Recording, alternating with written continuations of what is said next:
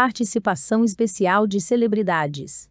Várias celebridades fizeram participações especiais na série, incluindo Caro Urban, Lucila Olese e Bruce Campbell Gênero.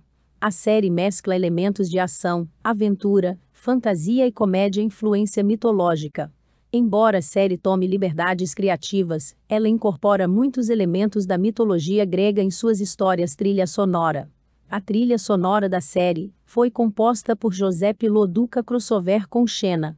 Hércules fez diversos crossovers com a personagem Xena, a princesa guerreira, que também teve sua própria série recepção crítica.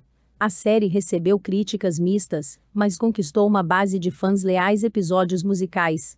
Alguns episódios da série são musicais, nos quais os personagens expressam suas emoções por meio de canções vilões recorrentes.